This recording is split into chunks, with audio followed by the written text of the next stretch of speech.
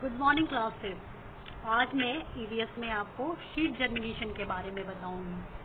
Sheet germination मतलब बीज का अंकुरण। ठीक है? बीज के अंकुरण के लिए किन किन चीज़ों की आवश्यकता होती है? मिट्टी सॉइल ठीक है? और वाटर पानी की ज़रूरत होती है और सनलाइट सूर्य के प्रकाश की ज़रूरत होती है।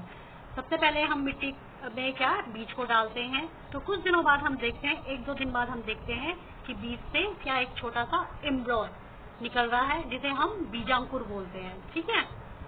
फिर कुछ दिनों बाद हम देखते हैं कि बीज से शीट कोड, इसका बीज का जो छिलका है, जिसे हम बीज आवरण कहते हैं, वो निकल रहा है और नीचे धीरे धीरे क्या निकल रही है? छोटी छोटी जड़े दिखाई दे रही है आपको।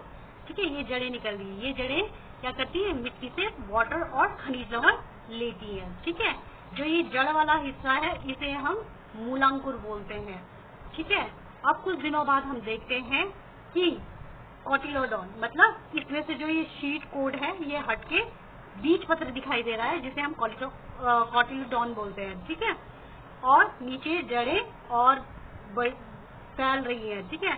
और फिर कुछ दिनों बाद क्या है, जब शीट कवर पूरी तरह से झड़ जाता है तो इसमें से फॉलिएज लीव मतलब छोटी छोटी पत्तियाँ निकलने लगती है। ठीक है? तो जो ये जिस जिस पोर्शन से पत्तियाँ निकलती हैं, इसे हम प्रांकुर बोलते हैं। मतलब प्रांकुर वाले पोर्शन से ऊपर वाला हिस्सा बनता है पौधे का, और मूलांकुर वाले हिस्से से नीचे, जड़ों वाला हिस्सा बनता है। इस प्रकार से एक बीज से एक पौधे का निर्माण होता है। ठीक है? आपको आई होप आपको ये चित्र के माध्यम से समझ में आ गया होगा कि एक शीट का जर्मिनेशन कैसे होता है? आप इस चित्र को अपनी कॉपी में बनाइए, ठीक है?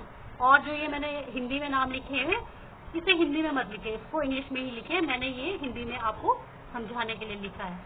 Okay thank you